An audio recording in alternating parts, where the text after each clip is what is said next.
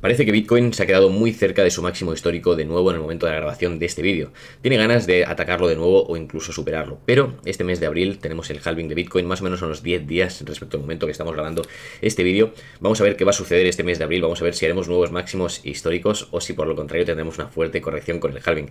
De momento os puedo comentar que este vídeo viene lleno de noticias realmente interesantes para Bitcoin.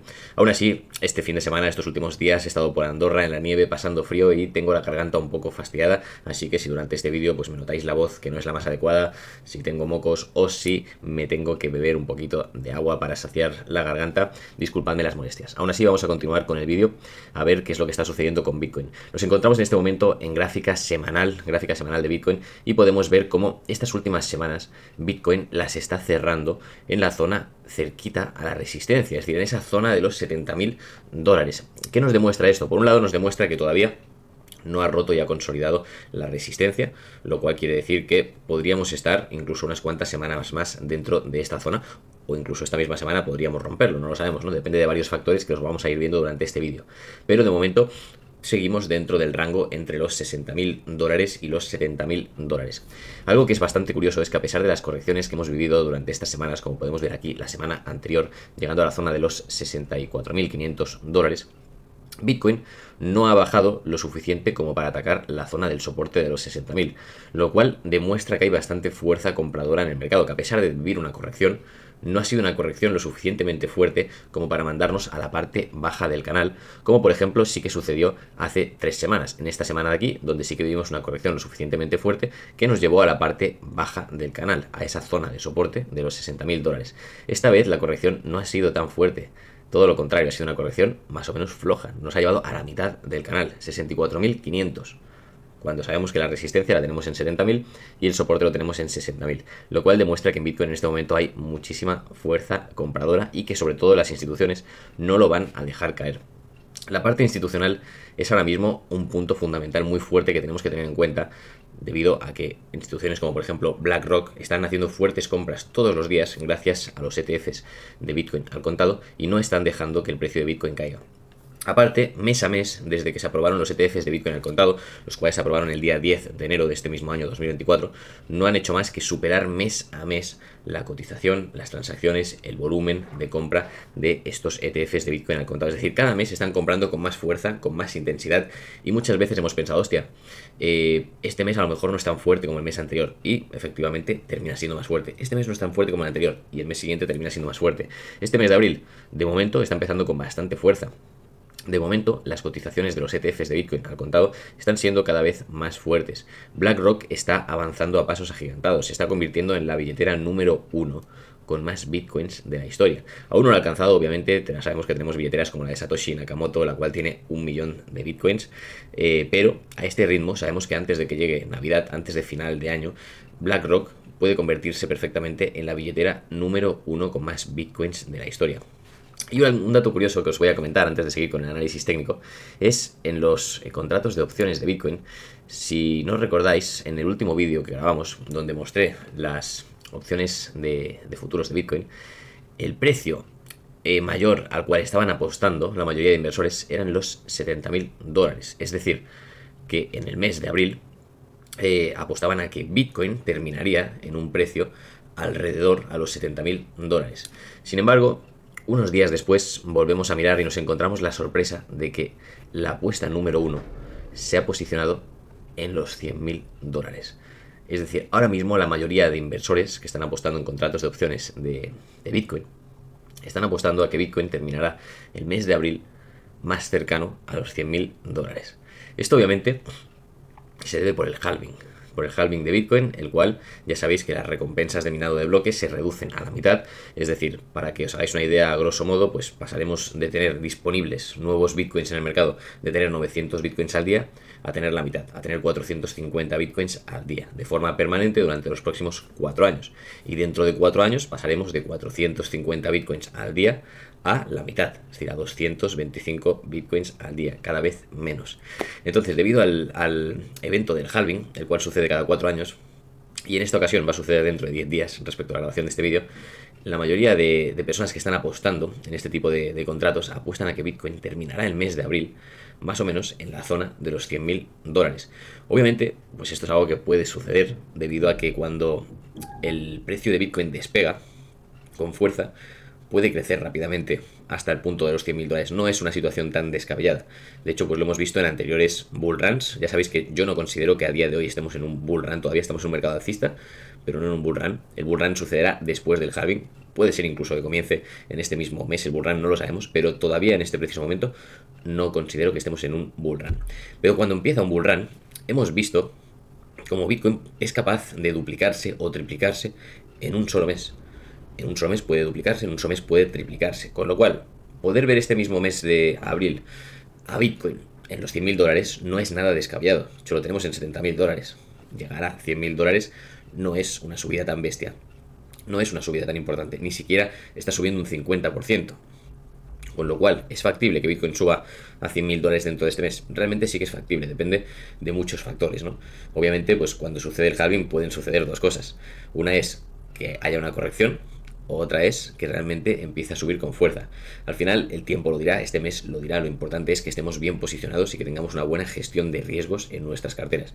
La gestión de riesgos es algo básico a la hora de invertir en este tipo de mercados tan volátiles y tan riesgosos. Pero si tú sabes dominar la gestión de riesgos, y tienes una buena estrategia de inversión, sobre todo a largo plazo, que es como mejor se trabaja, no tienes que tenerle miedo al mercado de las criptomonedas. Miedo lo tienes si tú estás invirtiendo sin cabeza, si tú estás invirtiendo sin gestión de riesgos, si estás invirtiendo a lo loco porque tu vecino te ha dicho que aquí dentro se gana dinero o por el motivo que sea. Pero si tú no tienes conocimiento sobre el mercado, entonces puedes perder mucho dinero o puedes perder incluso todo lo que estés apostando o invirtiendo dentro de este sector. Pero si tú realmente te formas, te instruyes, adquieres conocimiento y luego decides entrar en el mercado cripto, hay oportunidades de ganar muchísimo dinero. Hay muchísima gente que se ha hecho multimillonaria en este sector y en estos próximos meses y años, o incluso en este mismo año, me atrevería a decir, hay gente que se va a hacer multimillonaria dentro del mercado de las criptomonedas. Al final, si tú tienes conocimiento y lo pones en práctica, con una buena estrategia y una buena gestión de riesgos, tienes una alta probabilidad de tener éxito. Y sobre todo, en un mercado alcista como el que nos encontramos ahora, cosa que sucede cada cuatro años. Más o menos de los ciclos de cuatro años que tiene Bitcoin, solemos tener pues dos años que son negativos, ¿no? Que son el cripto invierno y el año lateral aburrido. Y dos años que son positivos, que son el de recuperación y el bull run. Ahora mismo nos encontramos precisamente en los dos años buenos. Nos encontramos en el año de recuperación y a punto de empezar el bull run. Con lo cual, estamos en el mejor momento de la historia para entrar en este mercado no el mejor momento exactamente, porque el mejor momento es cuando todo el mundo tiene miedo, las cosas como son, es cuando el mercado está sangrando, cuando nadie quiere entrar, cuando existe ese miedo tan grande delante de nosotros y la mayoría de gente no se atreve a cruzar la línea. Cuando lo digo muchas veces, ¿no? Una vez cruzas la barrera del miedo, al otro lado es donde se encuentran las cosas buenas, es donde se encuentran tus sueños, tus objetivos, tus metas, tus logros, ¿no? O el éxito, por así decirlo. Está al otro lado del miedo. El problema es que la mayoría de gente no tiene narices a superar ese miedo y se limitan, se dejan guiar, se dejan manipular por el miedo. Y al final el miedo pues no deja de ser una representación de, del mal, no deja de ser una representación de, de, algo negativo, no deja de ser una representación del diablo, vamos a decirle. El miedo es lo peor. Si tú dejas que el miedo se apodere de ti y te domine, no conseguirás nada en la vida porque el miedo te puede limitar en muchos aspectos de la vida, no solamente en el ámbito económico, se puede limitar también en el ámbito de la salud, de tus objetivos físicos, en el ámbito del amor, en el ámbito de relaciones, en el ámbito de cualquier cosa. Si tú dejas que el miedo te agarre por las pelotas y te domine, no vas a lograr nada. Si tú superas ese miedo, ¿qué es lo peor que te puede pasar? Que te vas a dar una hostia, hostia, qué bien. Una hostia, un gran maestro, eso es esa hostia. Una hostia que te va a enseñar lo que no tienes que hacer o te va a ayudar a aprender y a veces es mucho mejor llevarse una hostia, darse un batacazo y levantarse y volverse más fuerte que no quedarse detrás mirando. Obviamente también, si tú consigues ver como otro, una tercera persona, se da una hostia antes de que tú te la des y eres capaz de aprender de una hostia ajena, por así decirlo, pues también te sirve. También es enriquecedor para ti decir, hostia, esta persona ha hecho esto, se ha dado una hostia, vale, sé que este camino no es, te sirve a ti para aprender. Pero muchas veces hay aspectos de la vida que no se pueden eh, aprender de terceras personas y tenemos que vivirlo nosotros mismos en nuestras propias carnes. Así que darte una hostia, darte un tropiezo, tener un fracaso, nunca va a ser una derrota, siempre va a ser un aprendizaje. Y al otro lado del miedo, como bien digo, señores y señoras, es donde se encuentra lo bueno de la vida. ¿Cuál es el mejor momento para invertir? Cuando todo el mundo tiene miedo. Cuando notas el miedo en el ambiente, cuando está ese miedo, ese miedo, a mí, señores, me pone cachondo. Para que os hagáis una idea. lo habéis visto en este cripto invierno atrás. En este cripto invierno donde todos me llamaban loco porque yo estaba comprando. A mí me excitaba ver todo el mercado sangrando, todo perdiendo, porque decía, joder, qué precios más buenos, ¿sabes? Me lo están regalando. Decir, está viniendo aquí el universo y me está diciendo, toma David, compra Bitcoin por debajo de 20.000, toma, abre aquí tus posiciones. Y yo contento, emocionado, mientras toda la gente lloraba. ¿Por qué? Porque yo no dejo que el miedo me domine. Yo cojo el miedo y lo salto. Yo cojo el miedo y lo ignoro. Cojo el miedo y lo destruyo. Y a partir de ahí es como empiezas a tomar acción. Y esto del miedo os lo comento básicamente porque, aunque parezca una tontería que no tiene nada que ver con criptomonedas, finanzas y tal, sí que tiene que ver. Porque la mayoría de gente está viendo todo lo que está pasando en el mercado cripto detrás de una pantalla, sin tomar acción, sin actuar, sin invertir, sin hacer absolutamente nada. Y lo que va a suceder, aquí viene spoiler, es que dentro de dos años vais a decir, hostia, he visto el puto bull run detrás de una pantalla, he visto como Bitcoin ha pasado de 15.500 a yo que sé, a 200.000 o a 150.000 o a 100.000 o al precio que sea, o al precio que llegue. Y te preguntarán, hostia, ¿tú qué lo has visto? ¿Has comprado? ¿Has comprado? ¿Has ganado dinero? Y tú no, ¿por qué? ¿Por qué? ¿Y cuál es la respuesta? Aunque te cueste admitirlo, aunque te cueste reconocerlo, ¿Cuál es la puta respuesta al por qué? Cuando te pregunte la gente, hostia, si tú viste Bitcoin en 15.500, ¿por qué coño no compraste? Si tú has visto Bitcoin tan barato, ¿por qué narices no compraste? ¿Cuál es la puta respuesta? Mira dentro de tu interior y tú mismo lo sabes cuál es la puta respuesta. Porque tenía miedo. Porque no me atreví. Porque no le eché huevos. Porque no le eché cojones. Esa es la puta respuesta. Te guste o no. Con lo cual, el miedo sí que es un factor importante a tener en cuenta dentro del sector financiero, dentro del sector de las criptomonedas. Así que tenéis que aprender a trabajarlo.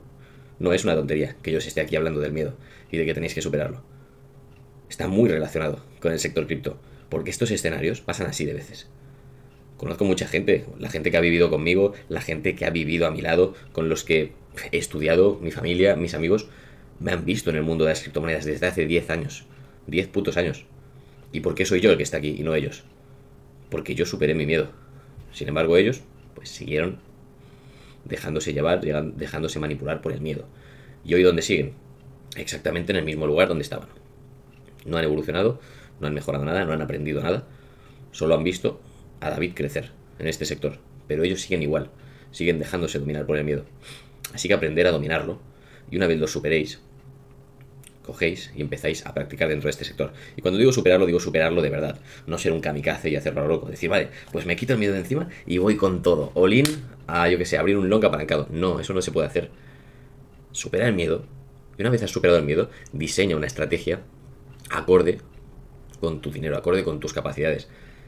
Gestiona el riesgo. Diversifica. Hay muchas formas de ganar dinero dentro del mundo de las criptomonedas. Más riesgosas, menos riesgosas, que te pueden dar más, que te pueden dar menos. Al final lo importante es ir sumando y ganar. Pero no lo hagáis tampoco de forma kamikaze. Esto es un sector que tiene mucho riesgo. Y yo esto que os estoy diciendo aquí no es un consejo de inversión ni nada por el estilo. Es decir, simplemente estoy compartiendo mi opinión, mi punto de vista, lo que yo creo y lo que yo hago. Tú te lo puedes tomar como te dé la gana.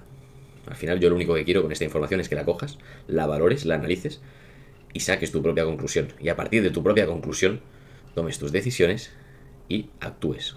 Y observes a ver cuáles son las consecuencias. Ese es un poco mi objetivo. Pero bueno, básicamente lo que os comentaba. Las apuestas ahora mismo, la mayoría de ellas están en que Bitcoin va a terminar el mes de abril en 100.000 dólares. Yo personalmente no lo creo. Pero la mayoría de personas pues apuestan a que sí, a que va a terminar Bitcoin en la zona de los 100.000 dólares. ¿Yo qué es lo que creo? Ya que estamos aquí, pues vamos a dar mi opinión, ¿no? ¿Qué creo que va a suceder? Primeramente, ha empezado esta semana, podríamos decir que es la primera semana oficial completa después de la Semana Santa, después de las festividades, es donde la gente ya de lunes a domingo o de lunes a viernes, si cogemos el horario laboral, se ponen a trabajar al 100%, vuelven a la rutina, el dinero empieza a, a, volver a fluir dentro de los mercados con normalidad, los mercados vuelven a abrir con normalidad, los ETFs de Bitcoin al contado vuelven otra vez a trabajar con normalidad y ha empezado la semana con todas estas instituciones comprando de forma regular como hacían pues, antes de las festividades. Y el precio de Bitcoin ha empezado a subir esta semana, lo cual nos demuestra que hay fuerza alcista. ¿Qué es lo que creo yo que va a pasar esta semana? Creo que Bitcoin va a romper la zona de los 70.000 dólares, va a cerrar una vela semanal por encima de los 70.000 dólares y posiblemente podríamos empezar el camino, el tramo hacia los 80.000 dólares, el cual sería el siguiente objetivo a tener en cuenta, llegar a la zona de los 80.000 dólares. Ese es el movimiento que yo veo para este mes de abril. Incluso podría verse esta semana, como bien digo. Aunque bueno, esta semana yo lo que creo es que al menos empezará ese movimiento. Yo creo que esta semana cerraremos el domingo por encima de los 70.000 dólares en vela semanal y empezaremos el camino hacia los 80.000 dólares. La semana que viene sí que es una semana bastante importante en cuanto a fundamentales. Sobre todo el fundamental número uno que tenemos que tener en cuenta para la semana que viene es este de aquí. Halving de Bitcoin, donde en este momento, como podéis ver, pues estamos a 10 días de que esto suceda, con lo cual la semana que viene ya tendremos el halving disponible. Y este dato yo creo que va a hacer que Bitcoin sufra un fuerte movimiento, el cual puede ser positivo o negativo. Obviamente, pues la teoría nos dice de que va a ser un movimiento positivo, aunque podría darse lo contrario, es decir, a nivel fundamental la noticia podría hacer que sufra una corrección. Que digamos, vale, ya ha sucedido el halving, a lo mejor antes del halving pues el precio ha empezado a subir por el FOMO, porque va a llegar ese día y nos ha llevado a cierto nivel, a los 80.000 dólares, por ejemplo. Y llega el día del halving y en vez de irnos a los 100.000, pues volvemos a los 60.000.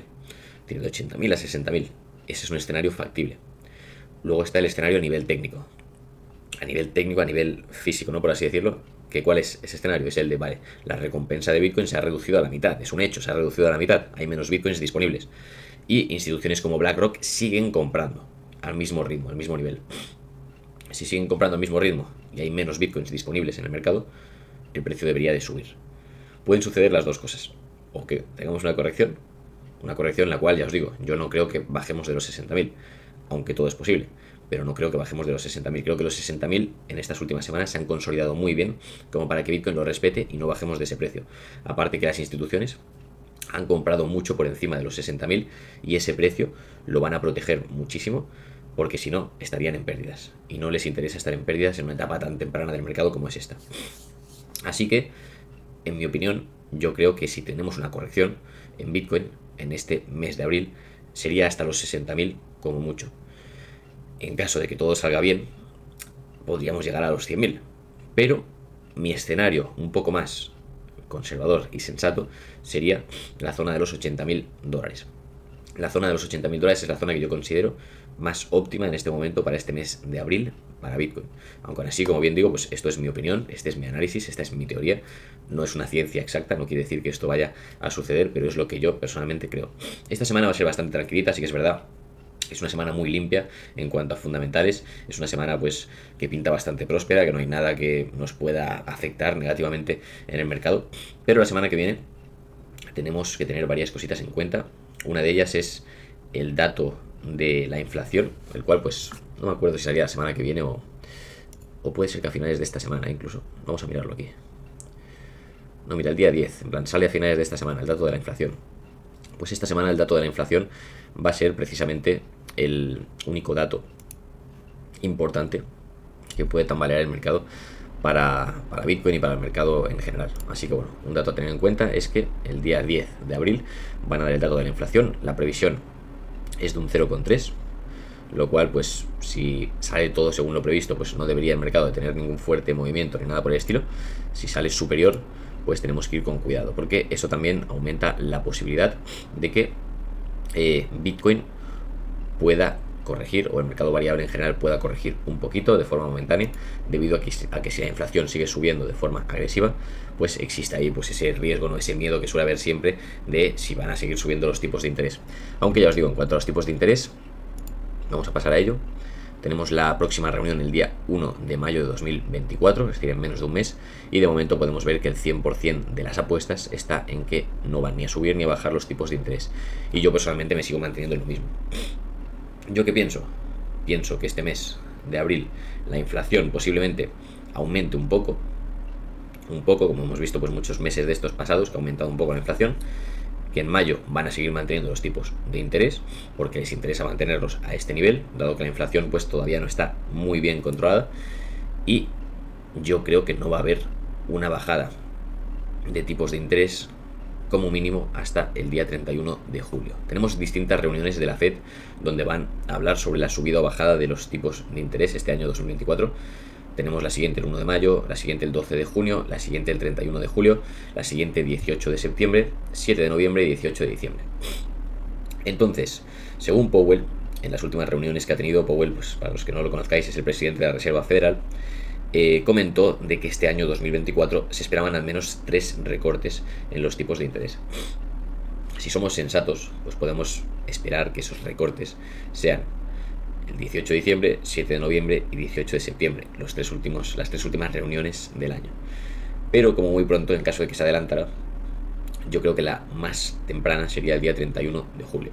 Es decir, como muy pronto sería el 31 de julio. Y si el 31 de julio, pues no sucede esto, pues ya por descarte tenemos las tres últimas del año. 18 de septiembre, 7 de noviembre, 18 de diciembre. A nosotros nos da exactamente igual porque eh, suceda antes o suceda más tarde, al final va a ser una noticia alcista.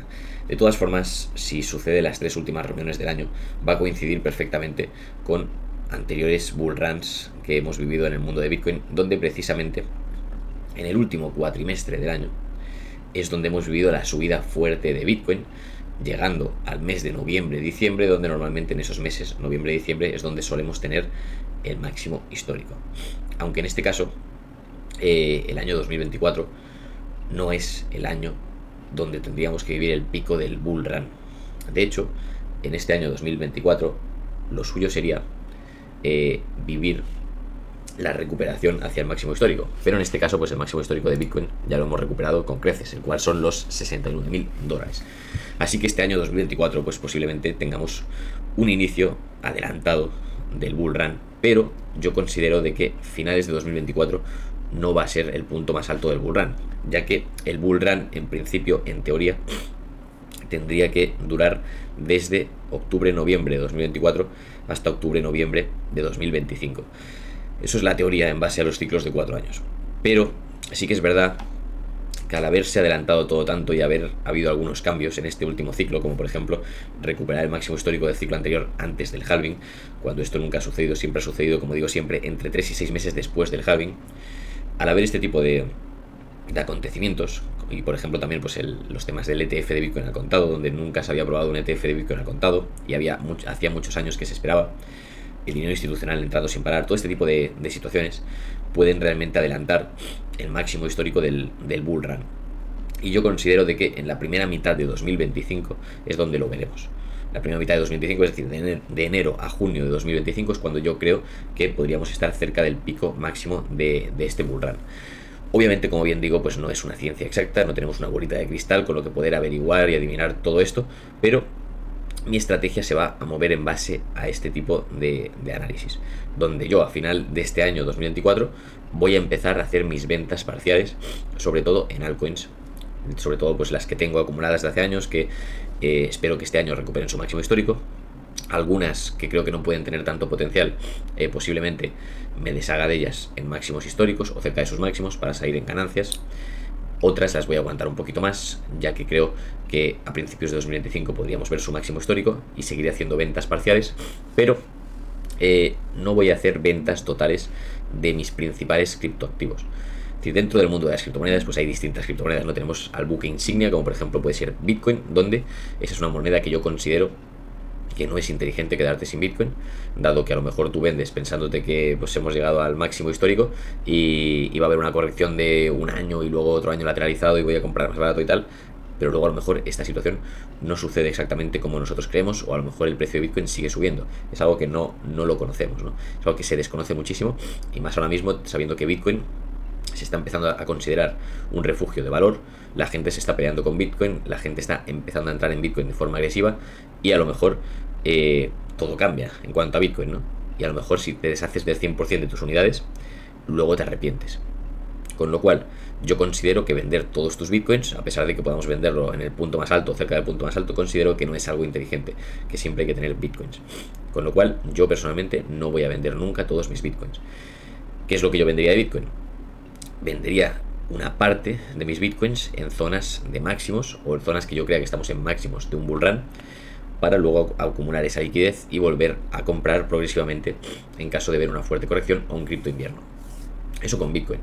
Con el resto de altcoins, eh, mi intención es hacer ventas parciales, poco a poco, según vayan haciendo nuevos máximos históricos mis principales altcoins, ir haciendo ventas parciales y esas ventas convertirlas en liquidez, con la cual esa liquidez eh, la divida en un 50% pues, para invertir en otro tipo de inversiones, otro tipo de negocios, otro tipo de activos, como por ejemplo pues, bienes raíces, propiedades básicamente.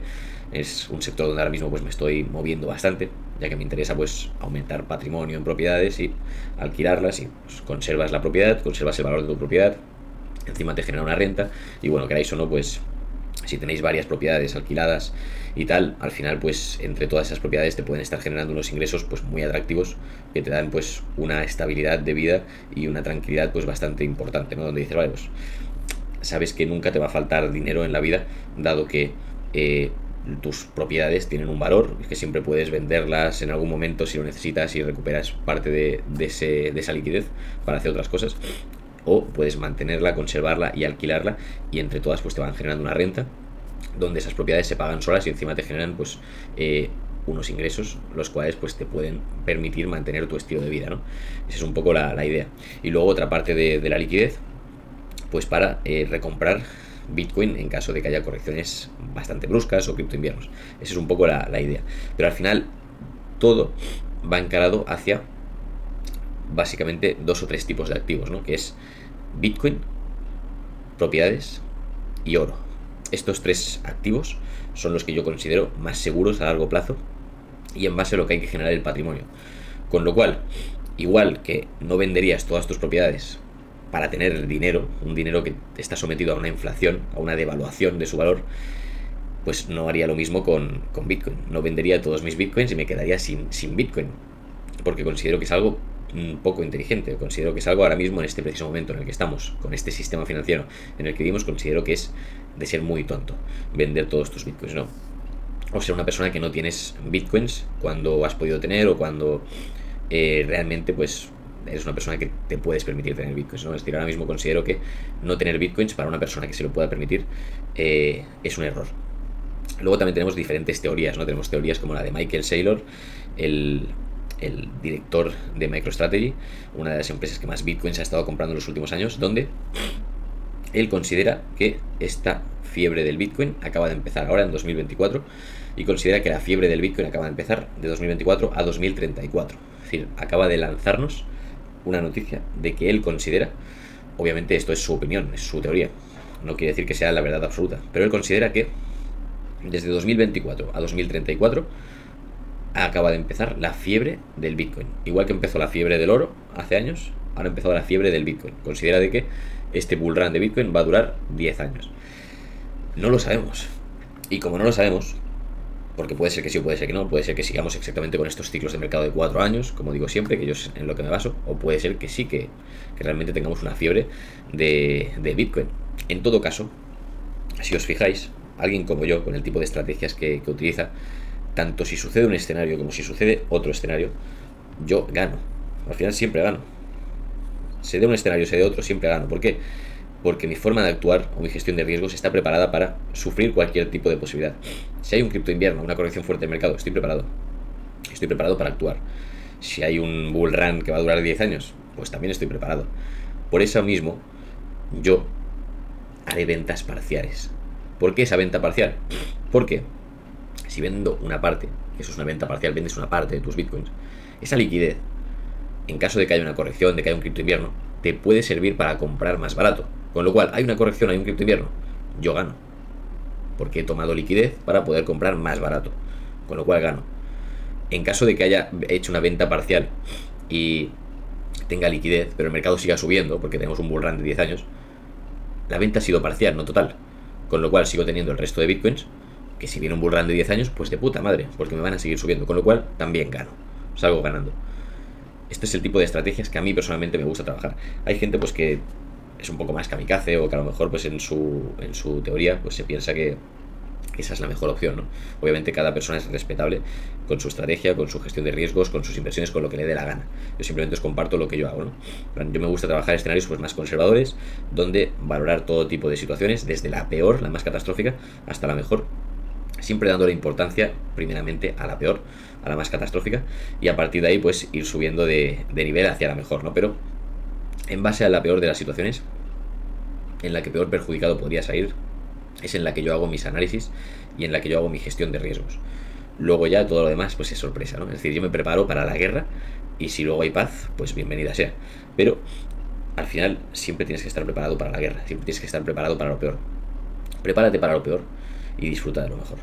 Esa es una de las teorías, una de las filosofías de vida que a mí me gusta tener personalmente. Prepárate para lo peor y disfruta de lo mejor. En cualquier ámbito de la vida, ¿no? Por ejemplo, yo que sé, en artes marciales. A lo mejor no tienes una pelea en tu vida, a lo mejor no te vas a dar de hostias con nadie en tu vida.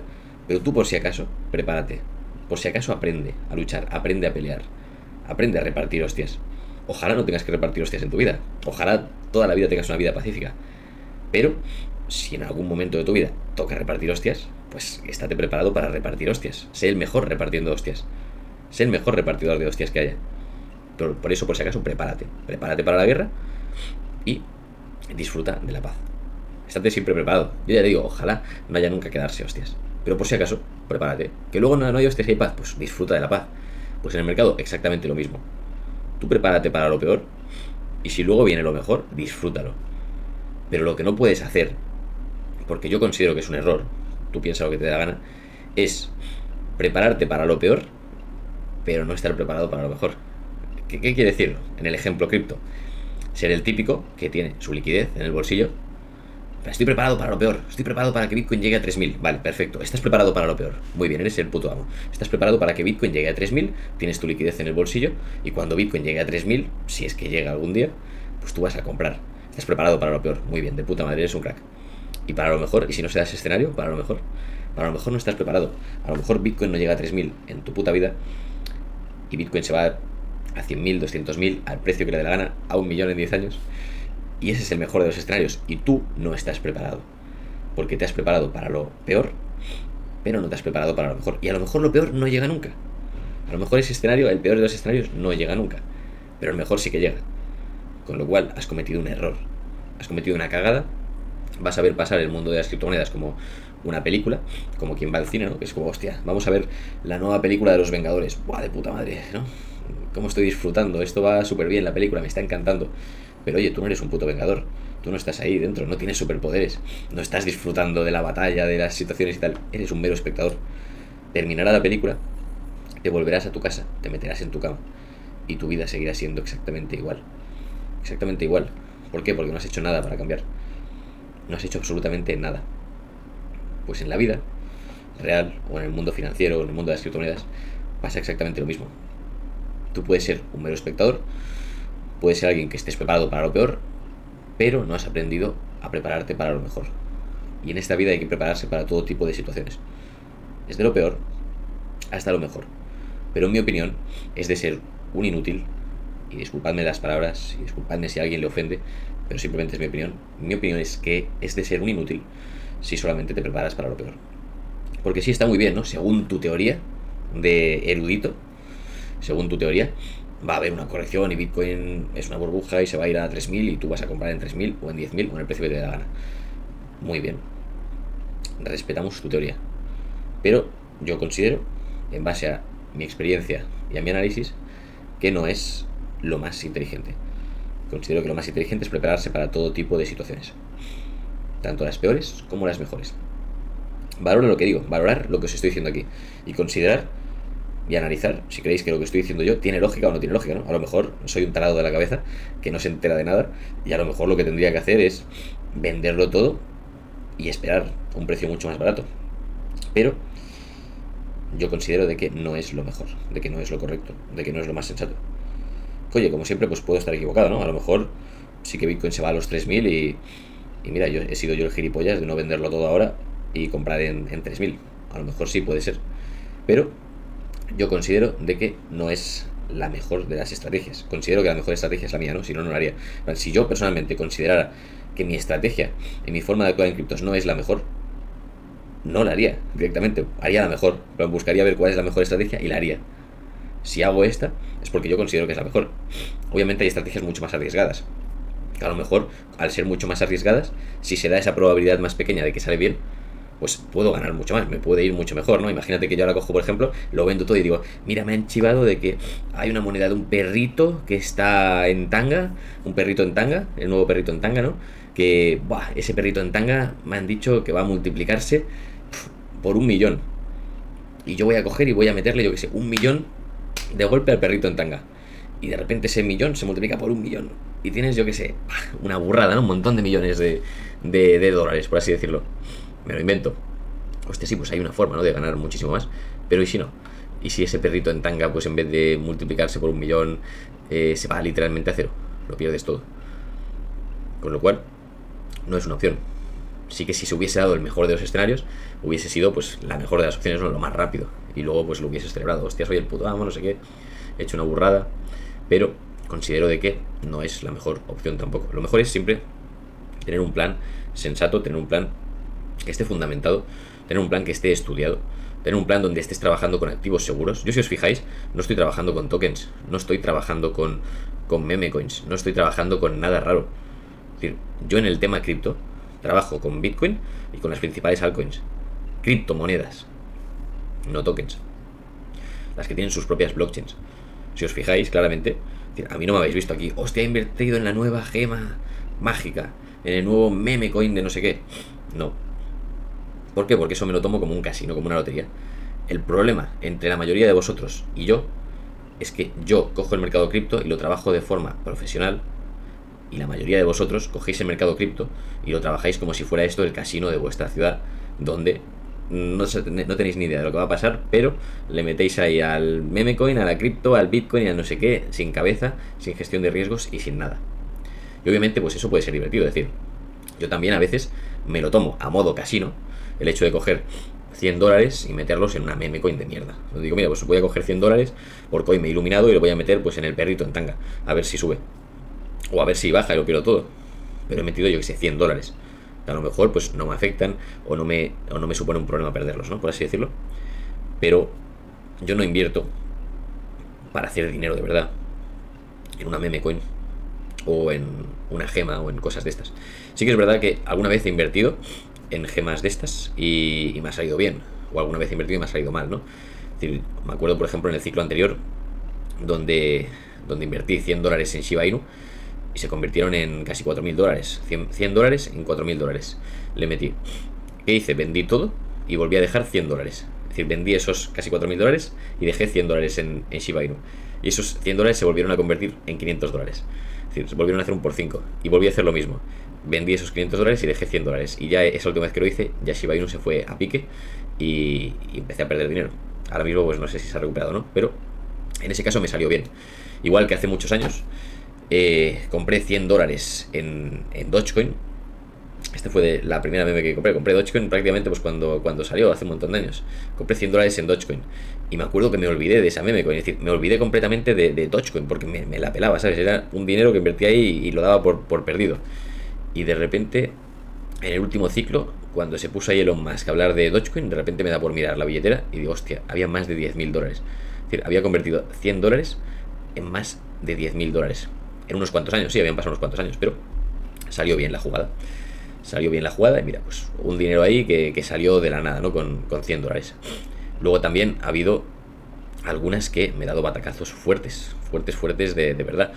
Por ejemplo, eh, hace unos años, en el último ciclo también, en 2021, invertí en una gema, la cual eh, era PolkaSwap, que era el token de un exchange descentralizado de, de Polkadot en la blockchain de Sora. Claro, en ese momento había salido recientemente Uniswap en la blockchain de Ethereum y Uniswap, el token Uni, pues subió muchísimo, fue un éxito.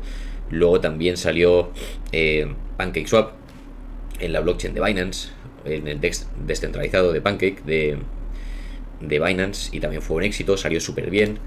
¿Y qué sucede? Salió PolkaSwap en la de Polkadot. Una gema. Dijimos, hostia, pues si en Uniswap ha ido súper bien, en PolkaSwap, en, en Uniswap ha ido súper bien, en, en PancakeSwap, en Binance ha ido súper bien, pero pues esta que es la de Polkadot también va a ir bien. Total.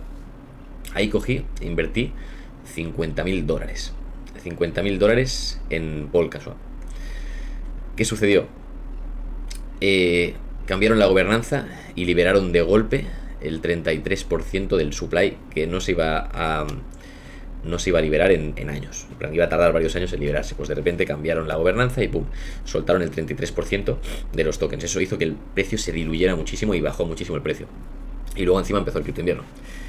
Eh, esto mandó el token a tomar por culo. Y a día de hoy, pues son unos mil dólares. Es decir, esos 50 mil dólares se convirtieron en mil dólares. Una pérdida de 49 mil dólares.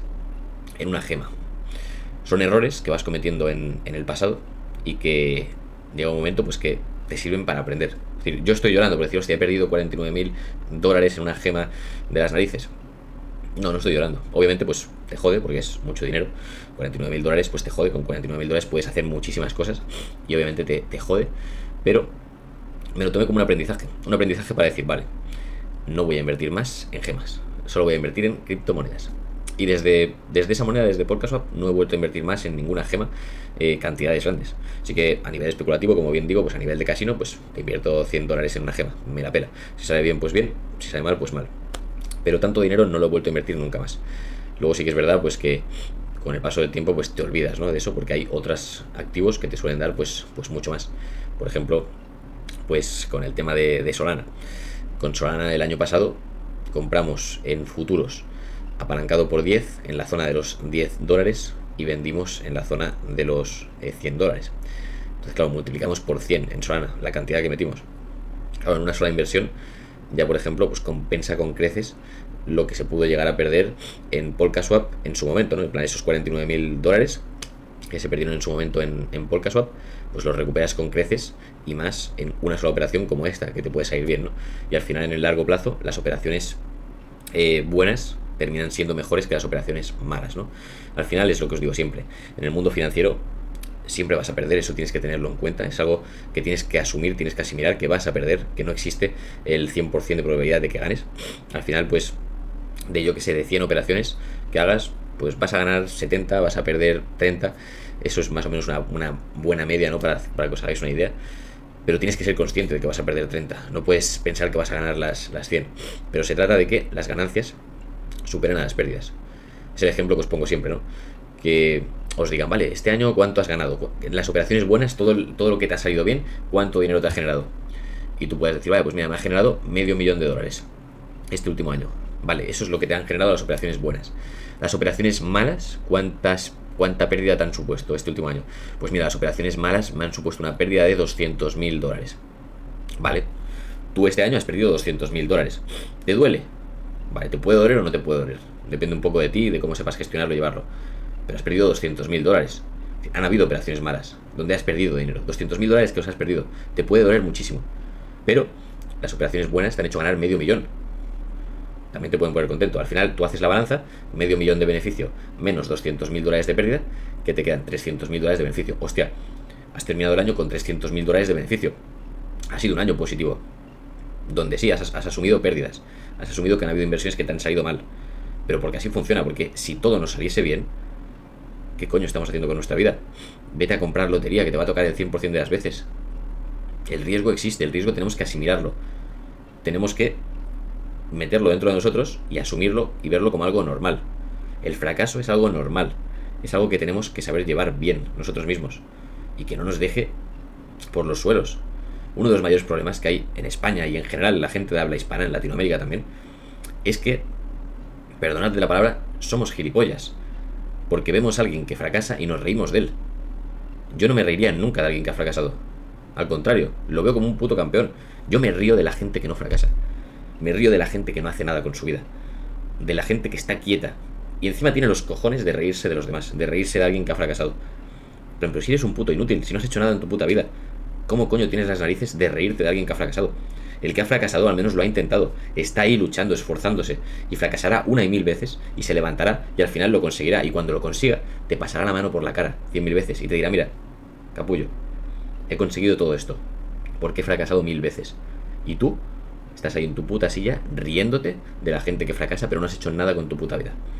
No has salido de tu zona de confort, has seguido ahí, en, tu mundo de mierda, ¿no? Por así decirlo donde el tiempo lo dedicas a reírte de los demás, a reírte de la gente que fracasa. Pero tú te mueres de ganas de tener éxito, pero no te esfuerzas, no intentas nada. Y al final hay que intentarlo, hay que fracasar. Yo cuando veo a alguien que fracasa y se sigue levantando y vuelve a fracasar, lo admiro. Lo admiro, digo, hostia, te admiro, tienes cojones, te estás esforzando. Y sigue intentándolo, sigue fracasando. Llegará un momento que le vas a pegar. Llegará un momento que le pegarás duro. Y realmente te saldrá bien y realmente conseguirás lo que quieres. Pero para eso tienes que fracasar. Si tú no fracasas, si tú no te metes ahí en el barro, te llenas las manos de mierda, te das de hostias, te llenas de heridas, no conseguirás nada. Tienes que fracasar. Tienes que reventarte las manos. Ya se curarán. Al final, los seres humanos estamos preparados y capacitados para regenerarnos, para recuperarnos, para aprender, para ser cada vez más fuertes, para ser cada vez mejores. Siempre existe un yo superior. Siempre. Y cada vez que lo alcanzas existe otro yo superior. Y cada vez que lo alcanzas existe otro yo superior. Nunca alcanzamos la cima. Nunca alcanzamos lo máximo. Nunca. Siempre hay algo más. Siempre hay algo más. Siempre hay algo más. Siempre hay un motivo más por el cual esforzarse. Es como un niño pequeño. Un niño pequeño primero aprende a contar hasta 10. Es un logro. Hostia, he aprendido a contar hasta 10 pero cuando aprendes a contar hasta 10, no se acaba ahí el mundo. Vale, sí ha sido un logro. Has, aprendido a, contar hasta 10, de puta madre. Pero ahora tienes que aprender a contar hasta 100. Y cuando aprende a contar hasta 100, luego, pues venga, ahora hasta 1000. Cuando llega a 1000, hasta 10.000, hasta 100.000, hasta un millón, hasta 10 millones, y así infinitamente. Siempre hay un objetivo superior. Siempre hay una forma de superarte. Siempre hay una forma de mejorar. Por eso yo personalmente admiro a la gente que se supera a la gente que se lanza y fracasa. Yo de la gente que me río es de la gente que no hace nada y tiene los cojones de reírse de los demás. El típico cuñado que está ahí en el sofá tirado viendo el fútbol o la isla de las tentaciones y tiene una puta vida de mierda, donde lo único que hace es levantarse para ir a buscar, a cumplir con su sueldo, no tiene aspiraciones, no tiene metas, no tiene objetivos, pero eso sí, tiene las narices de coger y criticar a la gente que ve por la tele o la gente que ve por internet y tal, cuando tú no estás haciendo nada con tu vida. ¿Cómo criticas a alguien que se está esforzando por crecer? Alguien que lo está intentando. Si tú no eres nadie, si tú ni te esfuerzas, si tú fueses una persona que te esfuerzas, que te lanzas, que peleas con la vida todos los días por mejorar tú, por mejorar tu familia, por dar algo bueno, algo positivo al mundo, pues aún serías alguien respetable. Pero si tú no haces eso, no te atrevas a reírte de nadie. Primero da ejemplo. Da ejemplo tú y luego ya pues, te ríes de quien te dé la gana.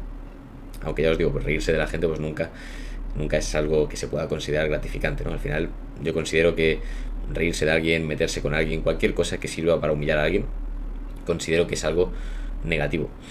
Y hacer cosas negativas, al final los únicos que nos afecta es a nosotros mismos. Nos afecta en forma de karma, nos afecta en forma de albergar sentimientos negativos dentro de nosotros que luego nos acaben afectando como por ejemplo lo he comentado muchas veces, ¿no? Tener dentro de ti sentimientos como odio, rencor, venganza, todo este tipo de celos, todo este tipo de sentimientos, al final al único que hace daño es a, ti mismo, a uno mismo. Si tú sientes rencor hacia alguien, quien tiene el rencor dentro eres tú. A lo mejor ese alguien está haciendo su vida feliz y tranquilo y le importas una puta mierda. Pero tú tienes ese rencor hacia esa persona y a esa persona le importas una puta mierda, está haciendo su vida, está feliz. Con lo cual, ¿te sirve de algo tenerle rencor a esa persona? No. Te está destruyendo a ti por dentro. El rencor lo llevas tú, no esa persona. Tú llevas el rencor que te pudre por dentro, te revienta, te hace generar sentimientos negativos, una vibra negativa, una aura negativa. Y eso te acaba afectando a ti, no a los demás. Tienes celos o envidia hacia alguien, te afecta a ti. Odias a alguien, odio a esta persona, te afecta a ti. Esa persona no te odia, esa persona le importas una mierda. Esa persona tiene su vida. Así que tenemos que aprender a quitarnos la mierda de encima, los sentimientos negativos, y coger lo positivo. Y hacerlo con amor. También si hacemos las cosas con amor y desde el corazón, desde el amor y no desde el odio, al final todo te acaba volviendo. Y esto sí, a veces me pongo así un poco más emocional, un poco más filosófico con este tipo de, de vídeos, pero os lo digo en serio, es decir, aunque muchos no lo entendáis, porque tenéis la mente cerrada, porque no estáis capacitados porque todavía no habéis llegado a, cierto nivel eh, mental, por así decirlo, eh, es una realidad. Estamos hablando de criptomonedas, estamos hablando de finanzas, estamos hablando de dinero, sí. Pero esto que os estoy diciendo está muy relacionado a lo que os estoy comentando. Es decir, sin lo que os estoy diciendo, sin estas palabras que os estoy diciendo, el tema del dinero, de las finanzas, de las criptomonedas, de lo que sea, no os va a servir de nada. Si tú no estás preparado mentalmente para recibir dinero, no te va a servir de nada. La cantidad de gente inútil que hay en el mundo donde le llegan cantidades grandes de dinero en sus manos y no tienen ni puta idea de qué hacer. Un claro ejemplo de ellos pues son los políticos españoles. En plan, la cantidad de gente inútil que le llega dinero en la mano y no tiene ni puta idea de lo que hacer. Pero les llega dinero en la mano y son inútiles. Son inútiles. Los políticos españoles, un claro ejemplo, por lo primero que se me ha ocurrido, ¿no? Porque aquí en España pues, son, expertos. Somos expertos en darle dinero a inútiles que no saben qué hacer con ese dinero más que gastárselo, endeudarse y, y generar mierda y problemas. Pues igual que los políticos españoles, hay mucha gente que es así. Le llega dinero y, como no tienen un buen mindset, como no están preparados y bien amueblados de la cabeza, lo, que, lo único que van a hacer con ese dinero es hacer cosas malas, gastárselo, generar problemas, hacer el mal. Al final el dinero es una maldita energía, es una energía. Tú decides cómo utilizarla. Tú decides si utilizar esa energía como algo positivo o como algo negativo. Mucha gente piensa, no, es que el dinero es malo, el dinero hace que las personas sean malas, los ricos son malos. No, los ricos no son malos, el dinero no es malo. Quien eres malo eres tú, que estás podrido por dentro. Tú eres malo. El dinero no hace nada, el dinero es un trozo de papel, hoy en día ni eso, hoy en día son datos en la nube, ceros en una pantalla. Pero físicamente pues es un papel, no sirve para nada. Lo puedes quemar, lo puedes usar para, para limpiarte el culo si quieres. Es un papel de mierda, sin valor. Encima cada vez vale menos, cada vez se evalúa más. El dinero no es malo, el dinero es simplemente pues una moneda de cambio. Es la energía que tenemos en esta sociedad hoy en día para, para poder adquirir cosas. Un techo, comida, agua, cualquier cosa, todo funciona con dinero. Todo se paga con dinero. Y como os dije en otras ocasiones, en otros vídeos, vivimos en el juego del dinero, nos obligan a estar dentro del juego del dinero y como es algo donde estamos obligados a estar ahí, porque todo funciona con dinero, pues al menos intentemos saber jugar, saber cómo funcionan las reglas del dinero, ¿no? Si tú no sabes las reglas del dinero, ¿qué va a pasar? Que va a venir un jugador en este mundo, en esta sociedad que funciona con dinero, un jugador que sí que sabe las reglas del dinero, que sí que sabe cómo funciona, y te lo va a quitar. Y, te vas, y vas a tener problemas de dinero. Porque vendrá otro más listo que tú, que sí que sabe jugar, y te lo va a quitar. Por eso es importante que aprendamos a tener una buena, eh, como se dice hoy en día, a tener conocimiento financiero. Tenemos que tener educación financiera, conocimiento financiero. No, no, lo dejemos solamente para la gente que estudia sobre el sector, no lo dejemos solamente para la gente que se educa, que se dedica al sector financiero. Porque el sector financiero somos todos. No es como quien es un médico que está, que está reservado pues para la gente que está en medicina, o quien, yo que sé, o quien es un ingeniero, de lo que sea, que también son un grupo más reducido. El sector financiero no es para la gente que ha estudiado finanzas, que ha estudiado económicas, que ha estudiado ADE, que trabaja en un banco, que trabaja en un fondo de inversión. El sector financiero es para todos. ¿Por qué? Porque a lo mejor tú no estás todos los días en un hospital, no estás todos los días operando a gente, ni lo vas a estar nunca. Pero ¿sabes lo que sí haces todos los días o casi todos los días? Tocar dinero. Para ir a comprar el pan, la comida, pagar tu alquiler, pagar tus gastos, tocar dinero, lo hacemos todos. Con lo cual, el mundo financiero tendría que ser algo obligatorio para todo el mundo. La educación financiera tendría que ser algo obligatorio para todo el mundo. Pero ¿por qué no es obligatorio para todo el mundo? Porque no interesa. No interesa que la gente normal tenga educación financiera, tenga cultura financiera, porque si lo tuviesen, no podrían manipularos, no podrían controlaros. Entonces lo mejor es que el pueblo no sepa ese tipo de conocimiento. Le damos lo justo y necesario para que no se caguen encima y puedan ir a comprar el pan y sepan pues cuánto tienen que pagar y cuánto les tienen que devolver de cambio. Y algunos ni eso. Pero todos deberíamos centrarnos en tener educación y cultura financiera. Todos. Y para eso también es importante, pues como bien digo, estar bien amueblados de la cabeza y entender un poco cómo funciona este mundo. Y como bien digo, me llevamos casi una horita de vídeo y todo esto a muchos de vosotros os suena a chino. Sé que los que llegáis hasta el final, pues es porque realmente entendéis, es decir, estáis más abiertos de mente y realmente pues comprendéis lo que os estoy diciendo, lo que os estoy transmitiendo os está aportando un valor, que al final esa es la intención. Yo me pongo aquí delante de esta cámara y me pongo a hablar y a decir esto porque intento desde el amor transmitir un valor hacia vosotros y que algunos lo consigáis agarrar, entender y aplicar. Ese es el objetivo por el que estoy aquí. Es decir, ahora mismo estoy grabando esto, he empezado a grabar a seis y media de la mañana. Seis y media de la mañana. Me he levantado temprano y estoy grabando esto. No estoy aquí, en plan, por gusto, decir, hostia, pues mira, ahora mismo lo que más me apetece en todo el mundo es sentarme aquí, delante de la cámara, a las 6 de la mañana, y ponerme a grabar un vídeo. no es lo que más me apetece. Lo más me apetece ahora mismo, sinceramente, es irme a la cocina, prepararme un buen desayuno y irme a entrenar, pegarme un buen entrenito. Eso es lo que más me apetece ahora mismo, sinceramente. Pero estoy aquí ¿por qué? Porque considero que estoy aportando valor. Considero que desde el amor estoy aportando unas palabras que os pueden llegar a muchos de vosotros, que os pueden afectar de forma positiva, que os pueden ayudar a entender muchas cosas.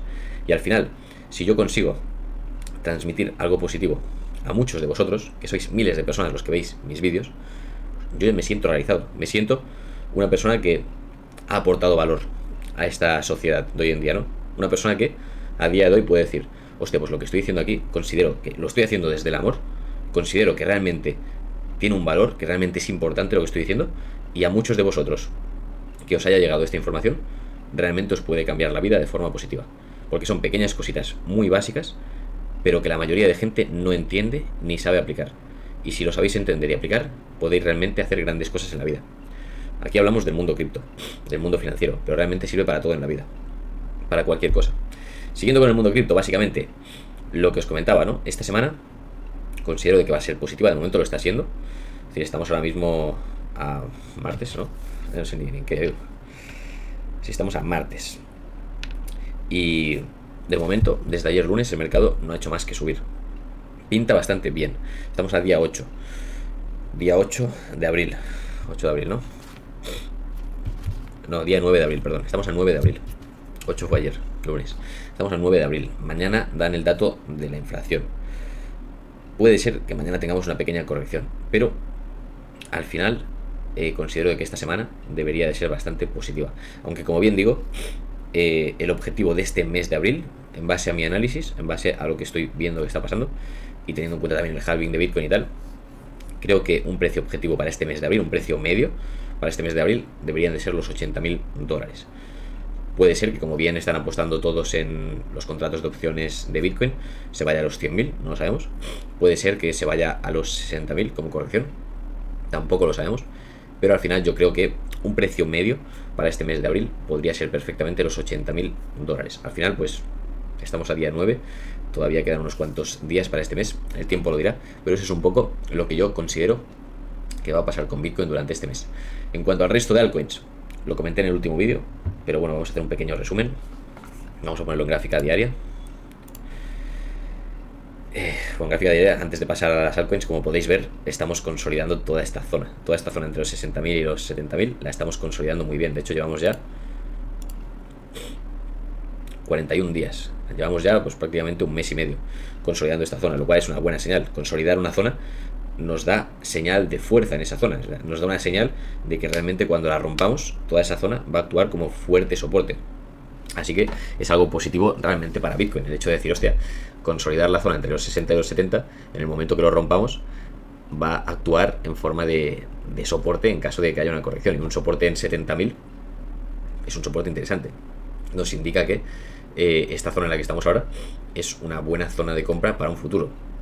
Pero bueno, no es un consejo de inversión, es decir, cada uno puede tomar la decisión que le dé la gana. En cuanto a las altcoins, lo que os comentaba, las altcoins han tenido correcciones muy bestias durante estos últimos días. De hecho, ahora mismo hay algunas que están bastante recuperadas, como por ejemplo pues Ethereum, podemos ver que vuelve a estar aquí cerca de los 4.000, pero el resto de, de criptomonedas, como por ejemplo Cardano, todavía se encuentra bastante lejos del máximo que ha alcanzado, en la zona de los 81 centavos. Ahora mismo está en 61 centavos, todavía le queda pues una larga subida de un 32%. ¿Qué quiero decir con esto? Quiero decir que para la gente que estáis buscando oportunidades diarias, sin ser un consejo de inversión, yo personalmente abriría longs en esta zona. ¿Por qué? Porque estamos en una parte baja del canal.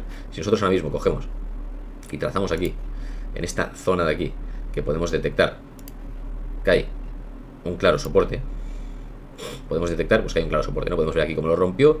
Aquí tenemos zona de soporte, zona de soporte, zona de soporte, zona de soporte. ¿Qué quiere decir? Quiere decir que esta zona de aquí, en Cardano, en los 56 centavos, es una buena zona de soporte para abrir una operación en largo. Si hubiésemos abierto en esta zona y se nos va a la zona de máximos que ya alcanzó hace unos días atrás, es decir, esta zona de aquí de los 81 centavos, estamos hablando de prácticamente un 45%. En una operación en long con apalancamiento por 10 hablamos de un 445% de profit. Es decir, multiplicar prácticamente por 5 nuestra inversión en un solo trade. Este tipo de operaciones son factibles. Tienen su riesgo, obviamente, pero son factibles. Ahora mismo, en el precio en el que estamos, pues estamos a un 32%, que Cardano lo alcanzará prácticamente. Es decir, si lo, si lo alcanzó hace unos días, esos 81 centavos, lo va a volver a alcanzar en cuanto se recupere un poco el mercado. Un 35%, un 31%, es más de un 300% de rentabilidad, con un long apalancado por 10. En caso de que corrija, pues mira, nos puede corregir a la zona de soporte más o menos un 8%.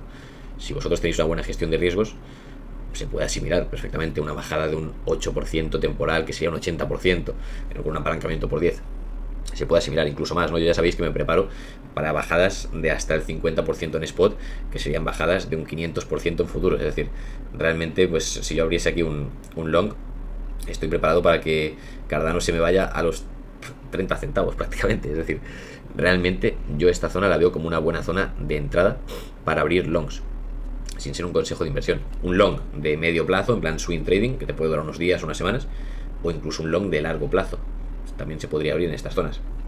Esto obviamente pues no es un consejo de inversión ni nada por el estilo, pero quiero decir que todavía las altcoins están dando oportunidades de entrada, cosa que Bitcoin es más difícil, porque está en zona de máximos, pero las altcoins no están en zona de máximos. Este porcentaje de rentabilidad estamos hablando desde el precio actual hasta el máximo que ha alcanzado este año, que son 81 centavos, pero el máximo histórico de Cardano está en 3,1, 3 dólares con 1, muy lejos, con lo cual aún la ganancia pues es mucho más importante. Pero como bien digo, simplemente quiero que entendáis que las altcoins todavía no han despertado, que no ha despertado la alt season, que sucederá dentro de poco, sí, considero que sí. Pero la alt season todavía no ha empezado, que muchas de estas monedas, como las más importantes, Ethereum, Cardano, Polkadot, Avalanche, Solana, Matic, todas estas monedas alcanzarán nuevos máximos históricos en este próximo ciclo, en este próximo bull run, y que aún están en una edad muy temprana, en un precio muy bueno.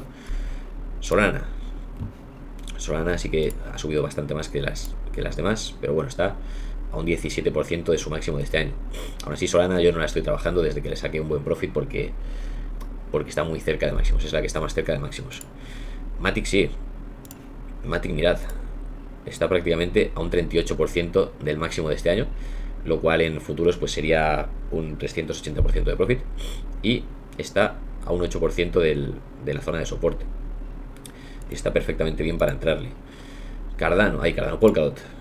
Polkadot está a un 9% del soporte, a un 33% de el máximo de este año, que sería un 330% de profit. Rose, mira, Rose es que están, están todas en una zona muy buena. Rose, mira, está prácticamente a un 12% del soporte, a un 38% del máximo de este año. Están todas, todas prácticamente dando buenas oportunidades de entrada, tanto en medio como en largo plazo, tanto para spot como para futuros. Están dando buenas oportunidades de entrada estas monedas. Así que bueno, simplemente pues deciros. Y os lo, os lo recuerdo también, este año, que os dije cuando empezó el año 2024, os dije, este año 2024, donde vamos a trabajar, donde vamos a posicionarnos bien, va a ser en las altcoins. Empezamos a hacerlo desde octubre del año pasado desde octubre del año pasado empezamos a posicionarnos en las altcoins. Pero este año 2024 donde nos vamos a centrar es en las altcoins. ¿Por qué? No por descartar a Bitcoin, nada por el estilo. Porque en Bitcoin ya estamos posicionados. Ya hicimos los deberes cuando teníamos que hacerlos. A finales de 2022 nos posicionamos en Bitcoin. A finales de 2022. A finales de 2023 nos posicionamos en las altcoins. En lo que nos vamos a centrar este año 2024 es en hacer dinero con las altcoins. Tanto en spot como en futuros.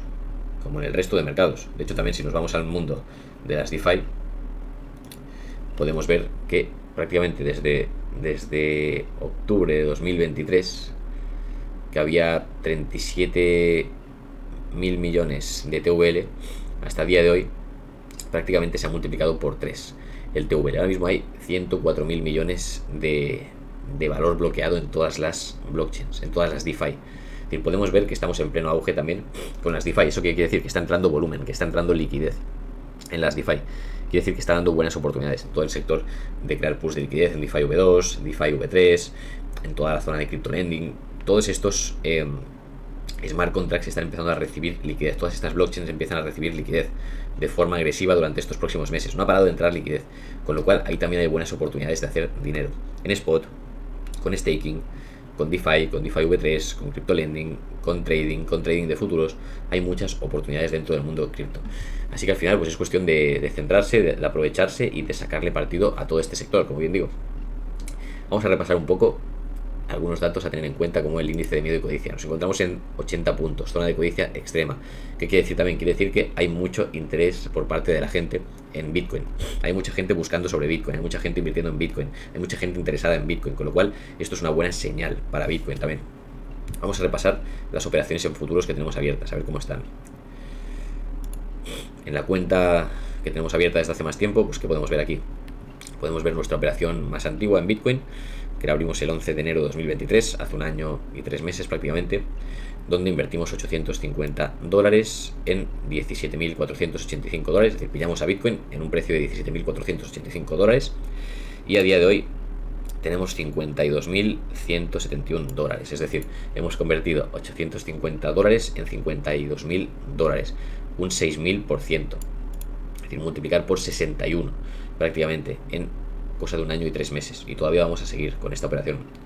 Estas dos operaciones de pruebas que las abrimos con 500 dólares cada una más o menos en Polkadot y en Rose. Una tiene 2.700 dólares de beneficio, un 486% de profit. La otra tiene 1.600 dólares de beneficio, un 331% de profit. Operaciones que también vamos a largo plazo para ver hasta dónde llegamos, pero son todo de largo plazo. Y ahora mismo este tipo de, de altcoins están dando oportunidades buenas para alguien que todavía no ha entrado dentro del mercado. Obviamente tienes que tener una buena gestión de riesgos y estar preparado, pero están dando buenas oportunidades. Luego el reto de 10.000 a un millón, a ver dónde está. Aquí lo tenemos. El reto público que tenemos, lo tenemos en TikTok, en Instagram. Disculpa un segundo, me voy a sonar la nariz que se me está cayendo el moco.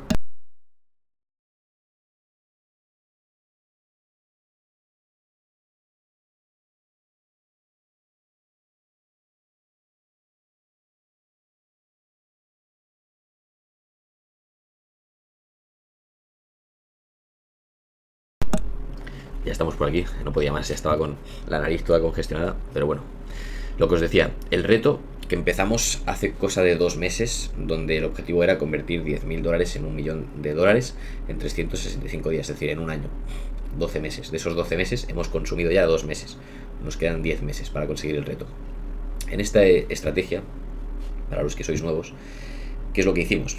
Cogimos 10.000 dólares, que es lo que vamos a invertir de esos 10.000 dólares hemos invertido hasta el momento 8.500. Nos quedan 1.500 dólares todavía para invertir, que no los hemos invertido aún, los estamos guardando para próximas oportunidades que veamos en el mercado. Y le metimos un respaldo de cuatro veces más. Es decir, cogimos 40.000 dólares de respaldo, que son 40.000 dólares que no los vamos a invertir, simplemente pues los tenemos ahí para protegernos de fuertes caídas. Es decir, en total cogimos un valor de 50.000 dólares, de los cuales 10.000 dólares es lo que hemos invertido, lo que estamos invirtiendo. Los otros 40.000 no los vamos a tocar, simplemente están como respaldo para protegernos de fuertes correcciones de hasta el 50% en spot, que sería una corrección del 500%. Es decir, estamos preparados para sufrir, para sufrir una fuerte corrección que nos lleve a precios mínimos. Por ejemplo, en caso de Polkadot, nosotros le metimos aquí a Polkadot más o menos en un precio medio, como pone aquí, de 6 dólares con 65 centavos. ¿Qué quiere decir? Que nosotros estamos dispuestos a sufrir una caída del 50% máximo. Es decir, Polkadot podría caer hasta los 3 dólares con 33 centavos y a nosotros no nos liquidarían. Nos liquidarían en 3 dólares con 32 centavos, por ejemplo. Si Polkadot llega a 3 dólares con 32 centavos, a nosotros nos liquidan. Y nosotros perdemos esa operación. Si nosotros, por ejemplo, pues nos vamos a Polkadot, vamos a buscarlo por aquí, y buscamos cuál ha sido el precio más bajo de este cripto invierno, podemos ver que el precio más bajo de Polkadot en este cripto invierno han sido los 3 dólares con 6 centavos. ¿Qué quiere decir esto? Quiere decir que para que nosotros nos liquiden nuestra posición en Polkadot, con esta estrategia, Polkadot tendría que hacer un nuevo mínimo histórico. Es decir, tendría que hacer un nuevo mínimo histórico como el que hizo en su cripto invierno, un mínimo más pequeño que el que hizo en su cripto invierno. Con lo cual eso sería algo contranatural en cuanto a un mercado alcista como el que nos encontramos. Es decir, sería coger un mercado alcista y volver a llevarnos a Polkadot a un precio inferior al que tuvo en su último cripto invierno, este que hemos pasado. Es un escenario posible, obviamente, pero muy poco probable. Por eso hacemos este tipo de operaciones y por eso utilizamos este tipo de gestión de riesgos.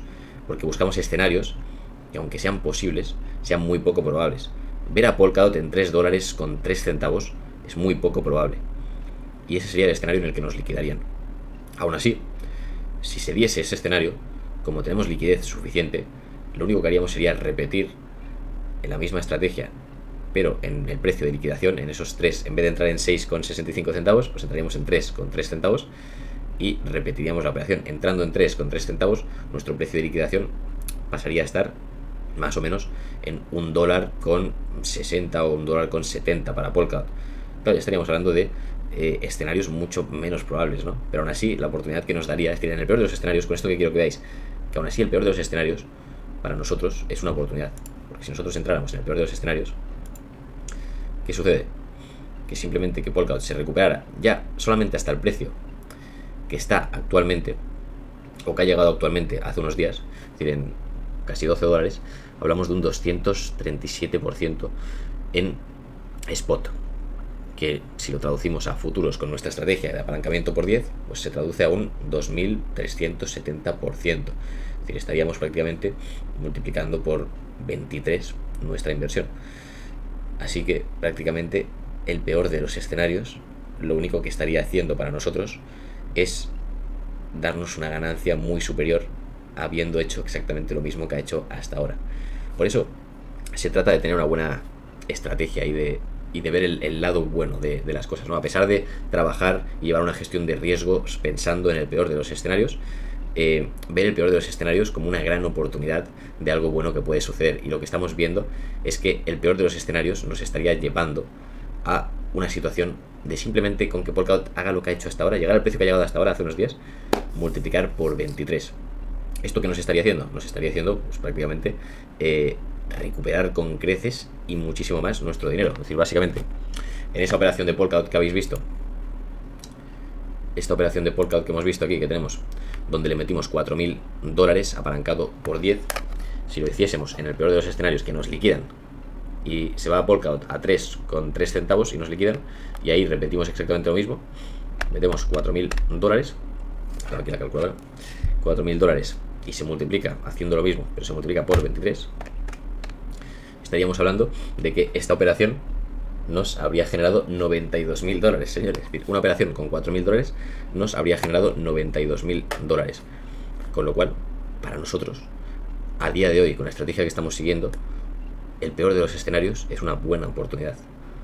Quiero que lo tengáis en cuenta. La, diferencia de, cómo algunos pueden llegar a ver eh, una situación y cómo la pueden llegar a ver otros, ¿no? Alguien lo vería como algo catastrófico, decir, hostia, eh, te han liquidado, has perdido esa operación, vale, me han liquidado. Pero es que, gracias a que me han liquidado, he podido entrar a un precio mucho más barato, he podido repetir mi estrategia en un precio muchísimo más bajo. Y simplemente con la recuperación he ganado muchísimo más. Solo con esa operación, imaginaros, ¿no? Hasta el punto que ha llegado ahora. Imaginaros que en el peor de, las, en el peor de los escenarios, vamos a ponerlo. Por eso quiero que veáis el potencial de este tipo de estrategias, ¿no? En el peor de los escenarios, ¿no? Que hemos visto, imaginaros que entramos en, en los 3,3 centavos, es decir, que nos liquidan esa posición, que para liquidarnos esa posición que actualmente está funcionando, tendría que irse por cada 3,3 centavos, hemos dicho. Imaginaos que le metemos ahí en 3,3 centavos, y lo aguantamos ya no hasta el punto donde ya ha llegado recientemente, que estaríamos hablando de que multiplicaríamos por 23, sino vamos a ver que lo aguantamos hasta el máximo histórico de Polkadot, hasta los 55 dólares. Hablamos de en spot una subida del 1500%. Una subida del 1500%, ¿de qué estaríamos hablando? Estaríamos hablando de que por 10 sería una subida de prácticamente el 15.000%. El 15.000% estaríamos hablando de prácticamente multiplicar por 150 nuestra inversión. En ese caso, la operación de 4.000 dólares en Polkadot que tenemos abierta, multiplicado por 150, ya nos estaría generando 600.000 dólares. Es decir, prácticamente la operación de Polkadot, solo una de las operaciones que tenemos abiertas, la de Polkadot, pillándola en el punto más bajo donde nos liquidaría la operación actual y esperando hasta el máximo histórico, que tarde o temprano debería de llegar, nos estaría dando 600 mil dólares, es decir, más de la mitad de lo esperado con el reto. Si el reto es convertir 10 mil dólares en un millón, pues más de la mitad de, ese reto nos lo estaría generando una sola operación en Polkadot, siguiendo exactamente lo mismo. Y por eso os digo, decir, nosotros, esta estrategia que estamos haciendo de convertir 10 mil dólares en un millón de dólares, para nosotros no es algo descabellado, es algo que lo tenemos estudiado, que lo tenemos asimilado es algo que encima eh, ya lo hemos hecho este año anterior, este año 2023, con Bitcoin y con Solana. Si Solana lo multiplicamos por 100, Bitcoin todavía lo tenemos abierto y ya lo llevamos un, llevamos un por 61 o así. Eh, con lo cual es algo que ya lo hemos hecho, ya lo hemos vivido. Y es una estrategia que hemos comprobado que funciona. Este año lo único que vamos a hacer es hacerla distinta, es decir, la vamos a hacer pública, la estamos haciendo pública desde hace ya dos meses. Y en vez de hacerla con Bitcoin y con Solana, pues la estamos haciendo con otras altcoins. ¿Por qué? Porque consideramos que la alt va a venir, que el bull run va a venir y que cuando esto venga, las ganancias que nos pueden dar son brutales. Simplemente con estas monedas que estamos trabajando, llegando a sus máximos históricos, ya estaríamos cerca de cumplir el reto. No le estamos pidiendo nada raro a este tipo de, monedas. No le estamos pidiendo que hagan nuevos máximos históricos y, hagan, yo que sé, rentabilidades de la hostia. No le estamos pidiendo esto. Le estamos pidiendo a estas monedas simplemente que se recuperen al máximo histórico. Que yo considero que lo van a hacer. Y ya, si encima hacen nuevos máximos históricos, que también considero que lo van a hacer, pues mucho mejor. Pero si vosotros cogéis y analizáis lo que estamos haciendo, la gestión de riesgos que estamos utilizando, eh, cómo nos estamos cubriendo, hasta dónde puede llegar todo esto, si cogéis y lo analizáis, pues os daréis cuenta de que realmente eh, es una estrategia factible. Obviamente no os la recomiendo, es decir, es algo que es eh, muy peligroso. Operar en futuros con apalancamiento por 10, como lo estamos haciendo nosotros, es algo muy peligroso, puedes perder tu dinero. Pero nosotros lo vamos a seguir haciendo lo hemos hecho una vez y ha funcionado, lo queremos hacer una segunda vez y simplemente pues lo hacemos por porque nos apetece, lo hacemos porque queremos demostrar aquí públicamente que esto se puede hacer, que realmente si eres una persona que sabes cómo funciona este mercado, tienes una buena estrategia, una buena gestión de riesgos y le echas huevos, puedes hacerlo. Y queremos demostrar cómo somos la única persona aquí en YouTube que coge públicamente y hace algo así, de 0 a 100 es decir, de 10.000 a un millón. Públicamente, sin trampa ni cartón, todos los días siguiendo el reto y que somos capaces de demostrar cómo cogemos dinero propio y lo multiplicamos en el mundo de las criptomonedas. Lo llevamos haciendo desde hace tiempo, independientemente de los cripto inviernos, que los cripto inviernos, pues obviamente, si tú tienes activos y has sufrido un cripto invierno, pues se devalúan, pero se devalúan durante un periodo de tiempo. Es decir, no es algo que digas, hostia, eh, compraste Bitcoin en 20.000, se fue a 15.000. plan, pues, pues vale, pues se fue a 15.000 durante un tiempo, ahora está en 70.000. Ahora ya esos tiempos se olvidaron, ¿no? Pues lo que queremos hacer es eso, es demostrar cómo se puede hacer. Esa es un poco la idea, demostrarlo, hacerlo público y que la gente el día de mañana pues, pues pueda ver, hostia, el cabrón este como con cinco operaciones, o igual hacemos seis o siete, pero con pocas operaciones, en un año ha convertido 10.000 dólares en un millón de dólares. Y lo ha hecho de forma sencilla, porque ya veis que estas operaciones, en el momento que las hemos abierto, pues que nos han llevado 30 segundos abrir cada operación de estas. 30 segundos cada una. A lo mejor le hemos dedicado a esta estrategia, aparte del estudio que hay detrás, la gestión y todo, que a eso sí que le dedicamos mucho más tiempo, pero una vez ya lo dejamos todo listo, analizado y preparado, hacer esta operación que nos ha llevado en total 2 minutos y 30 segundos lo que le hemos dedicado. Le hemos dedicado literalmente 2 minutos y 30 segundos de nuestra vida para convertir 10.000 dólares en un millón de dólares. Ni más ni menos. Y eso es un poco pues la, idea que, que, tenemos, ¿no? Poder demostrar cómo se hace dinero en el mundo de las criptomonedas de forma relativamente sencilla. Aunque haya gente a día de hoy que todavía pues, no se lo creen porque no tienen el conocimiento de cómo funciona esto, ¿no? Al final es simplemente un apalancamiento, es decir, le pides por así decirlo, como dinero prestado al exchange. El exchange, la ventaja que tiene es que si a ti te sale mal tu jugada, tú pierdes 10 veces más rápido. Porque tienes un apalancamiento por 10. Pierdes 10 veces más rápido. Igual que ganas 10 veces más, si te sale bien, pierdes 10 veces más rápido. Esa es la ventaja del exchange. Eso es lo que el exchange está utilizando a su favor, ¿no? Pero si tú sabes cómo llevar una buena gestión de riesgos, al final le puedes ganar a ese exchange, le puedes ganar 10 veces más al exchange decir, hostia, pues mira, yo he invertido 10.000 dólares y le he sacado un millón de dólares al exchange. Esa es un poco pues la, la idea, ¿no? Con este tipo de estrategias, pero por eso es tan peligroso, porque si tú eres una persona que no, que no tienes conocimiento en este sector, pues quien va a ganar es el exchange, que por algo te está dejando dinero, ¿no? Por eso, por algo te está dejando 10 veces más el dinero que tú estás poniendo. Nosotros sí hemos invertido aquí, pues eso, 10.000 dólares, pero realmente es como si invirtiésemos el 10 veces más, 100.000 dólares. El resto te lo deja el exchange. Pero esa es la gracia del apalancamiento. Para nosotros supone una inversión de 10.000 dólares esta estrategia. Esa es nuestra inversión, lo que nosotros hemos invertido directamente. Luego tenemos el respaldo, ese respaldo de, de 40.000, que no, no, lo hemos tocado y esperamos pues no, no, tener que tocarlo nunca y que todo vaya a favor. Y ya está, ni más ni menos.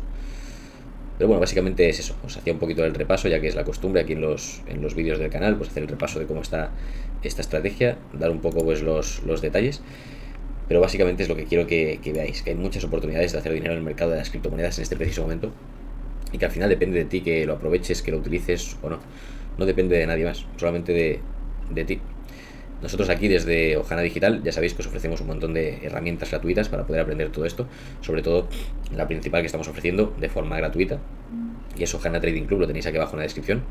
Es eh, nuestro club de trading gratis para toda la gente de nuestra comunidad, donde tenemos un trader profesional todos los días enseñándoos esto, haciendo trading, operando el mercado en vivo, haciendo clases en vivo en directo, os enseña absolutamente todo, os comparte señales, os comparte indicadores, os enseña cómo funcionan bots, os comparte absolutamente todo tenemos un trader profesional todos los días con vosotros, acompañándoos de la mano para que sepáis ganar dinero en el mercado de criptomonedas. Y lo tenéis gratis, es un servicio gratuito. Somos la única comunidad de habla hispana que ofrece este servicio tan completo de forma 100% gratuita para toda la gente de nuestra comunidad. Y nuestro exchange donde operamos es Bitget y consideramos que es el mejor exchange a día de hoy para operar, el más sencillo, el más intuitivo y aparte es el patrocinador de nuestro canal donde tenemos un enlace aquí abajo en la descripción que con ese enlace tenéis un 10% de descuento en todas las comisiones y aparte por utilizar ese enlace tenéis todos los servicios gratuitos como por ejemplo Ojana Trading Club que es un servicio 100% gratuito para todos vosotros, para toda la gente que está en nuestra comunidad. También os recuerdo que podéis seguirnos en otras redes sociales como Instagram, y como Telegram o TikTok actualmente donde subimos el reto este de los 100.000 a un millón todos los días o en el Telegram donde os informamos de todo diariamente. Cualquier cosa que hacemos la, compartimos por el Telegram, así que os recomiendo estar metidos en el grupo de Telegram, donde todo esto pues también es 100% gratuito. Y con esto ya me despido, ha sido un vídeo largo, creo que ha sido el vídeo más largo que hemos hecho en estos últimos meses, pero bueno, tenía ganas de deciros todo esto. Al final creo que todo lo que os he dicho en este vídeo aporta valor, o al menos así me siento, o así lo he hecho. Lo he hecho desde el amor para aportar valor hacia todos vosotros. Si habéis aguantado hasta el final, habéis visto el vídeo hasta el final, pues os felicito, porque al final eso quiere decir que estáis despiertos, que realmente pues entendéis el concepto de todo lo que os intento transmitir aquí. Si no habéis aguantado, pues bueno, también lo entiendo, el 95% de la gente no está preparada para ver este tipo de cosas, para entender este tipo de cosas. Así que es comprensible, pero bueno, ese 5% de la gente que hay en el mundo que sí que está preparada para entender todo esto, me alegra saber de que muchos de vosotros pertenecéis a mi comunidad, sois seguidores de aquí de la comunidad y por mi parte pues pienso seguir aquí al pie del cañón cada vez que tenga un ratito para ver cómo está el mercado de las criptomonedas, para aportar valor, para compartiros lo que yo creo que está pasando en el mundo cripto y que vayamos un poquito de, la mano haciendo dinero en este sector de las criptomonedas. Así que si os ha gustado el vídeo, como siempre, agradecería que le deis a me gusta, que os suscribáis al canal en caso de que no lo estéis y nos vemos en el próximo vídeo. Os deseo una feliz semana a todos y os mando un fuerte abrazo para todos y para todas.